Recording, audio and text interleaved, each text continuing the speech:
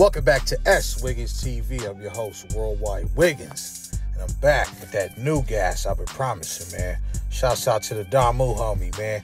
He put me on this topic, you know what I'm saying? He gave me the idea. Today we gonna discuss hoods out there with members from a lot of ethnic and different foreign nationalities, man. You know, people from different countries, reputables from different hoods, man.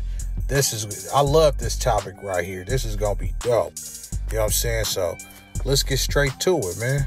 As a mud mud who came from a third world country, myself, I understand how important it is to be able to adapt to a new environment. If you've been rocking with me, you know one thing for sure, two things for certain.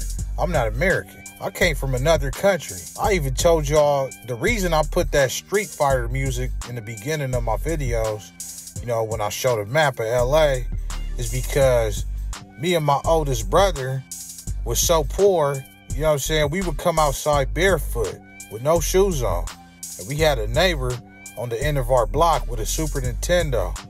And we were so intrigued and so fascinated because we had never seen a video game in real life before. And you know, we was looking at each other like, whoa! You know what I'm saying? Look at the graphics. You know, look at this invention. You know what I'm saying? Yeah. And, and, and uh, he had Street Fighter 2. He had a bunch of games. You know, he was considered a rich man. We like, wow, this is amazing. you know, not only were we poor in this country, we were the poorest people in the neighborhood. We was bottom of the barrel. At that time, I was five, and my brother was like 12, 13. A year later, we moved to America. I lived in LA and Miami, among other places, but briefly. So I play that music because it brings back memories and it shows how far I came in life. Now that you heard that long ass intro, let me let you know what I said all of that to say. You know what I'm saying? I understand what it's like coming from another country and struggling to adapt to American culture. Today, let's touch on LA hoods that contain members who have immigrants from other countries slash members who are descendants of immigrants from other countries. Now, before we get started, certain hoods will not make this list. For example, Tongan Crips, uh, Sons of Samoa Crips, or Asian Boy Crips, or African Mafia Crips. They not gonna be on this list because they name already tells you that they automatically are of foreign descent. That's cheating.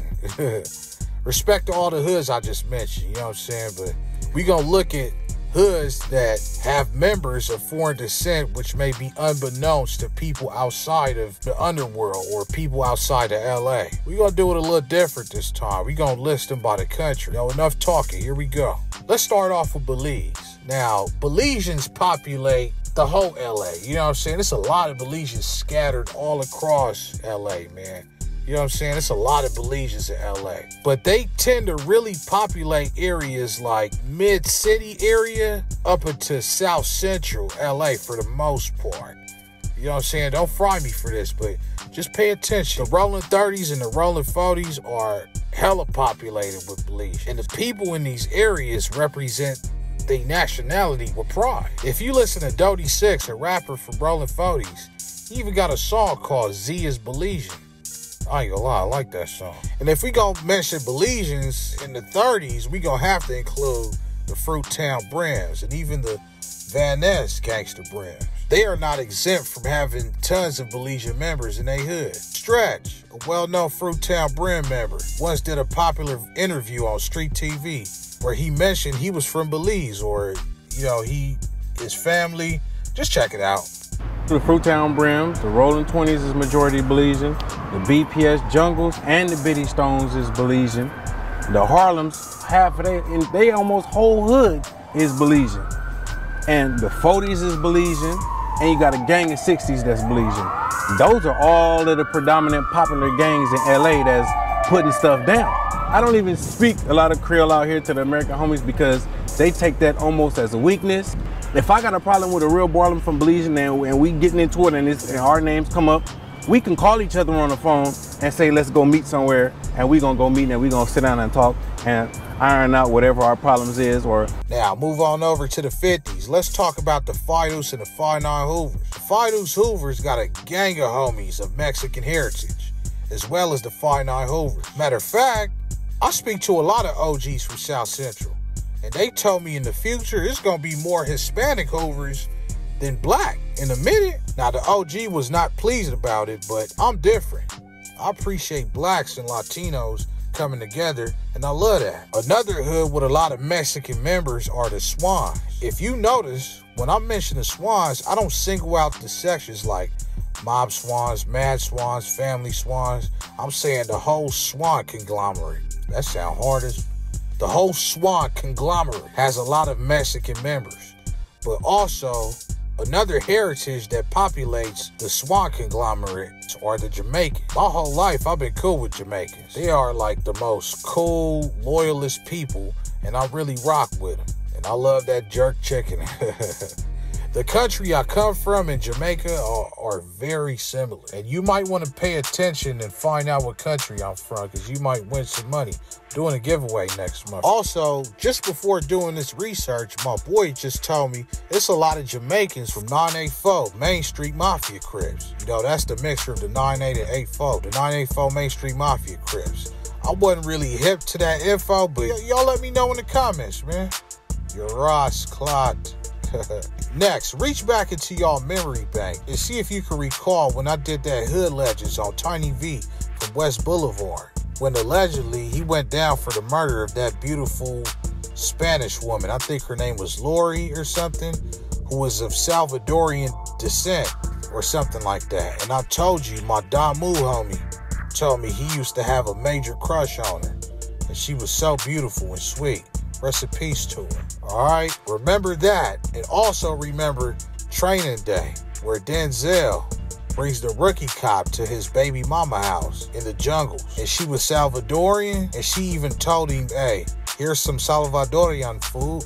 Even though this was just a movie, I just want y'all to know that it's no coincidence. The BPS hood and the Rolling 20s are filled with a lot of Salvadorians and Guatemalans and Belizeans. That movie was so well put together that it had to be, you know, done on purpose to let the viewers know it's a lot of people in that area of that descent. I'm not really into Latinas like that, you know.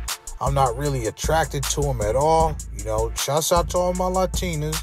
I'm just saying though, I'm just I'm just into a you know a few of them, like the one who played uh, Denzel uh, baby mama, Eva Mendes.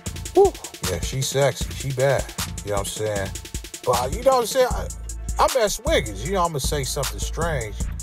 I got a confession to make. I'm also attracted to that that uh that Spanish girl. I don't know if she Mexican, but the one that hang with Crip Mac. Lupe? I don't know, cuz she kind of pretty to me. Am I weird for that? hey, don't judge me, homie. Your baby mama ain't that pretty either, bro. What you looking at? I don't know, man. I'm, a, I'm attracted to her. With all due respect, she kind of pretty. Shout out to Lupe, man.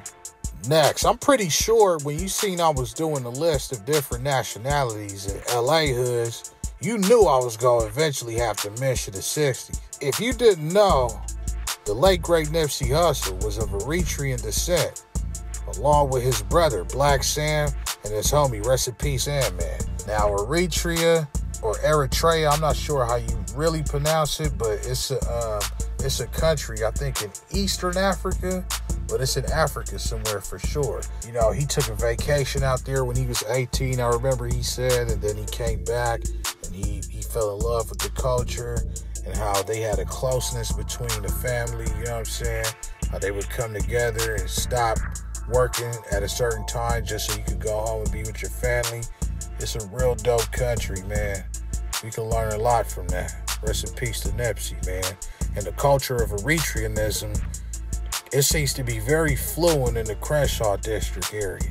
All right, next. When I got injured and I went to the hospital in the UCLA Harbor, you know, on Carson Street in Vermont, I remember like that area had a lot of Samoans. I mean, it's damn near impossible to not have a Samoan member from Carson Hoods, like, you know, the Carson West Side Piru, the Scott Park Piru, the Scottsdale Piru, you know what I'm saying, the Carson Bounty Hunters, freaking um, Grace Avenue.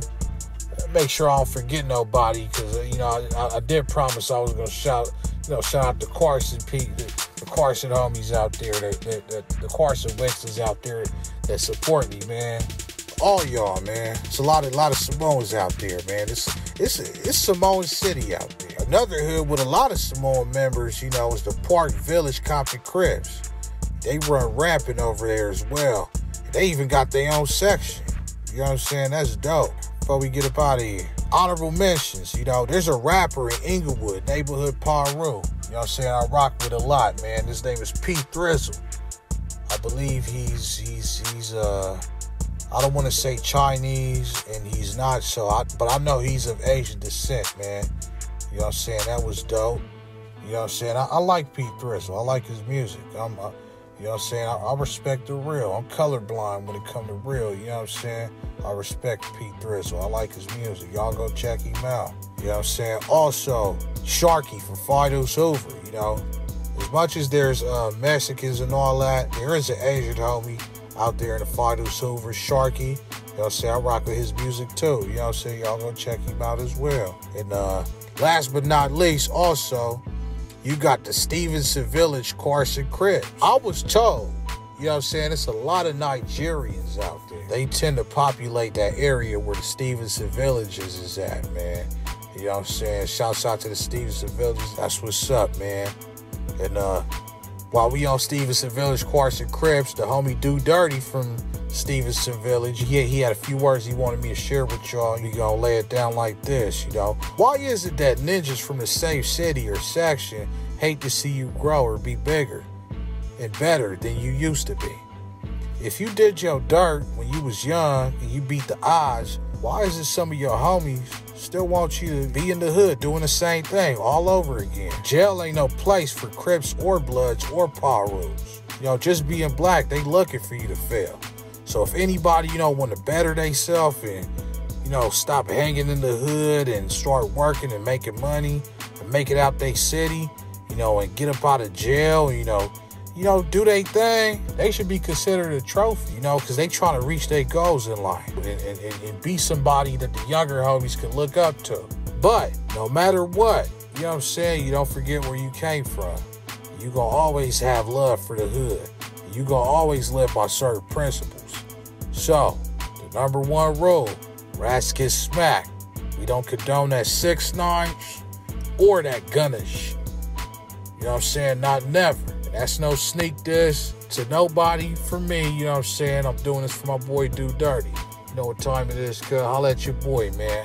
But yeah, we reached the end, man. Make sure you like, comment, share, subscribe, man. Gas coming this week, man. I'm out of here. Work!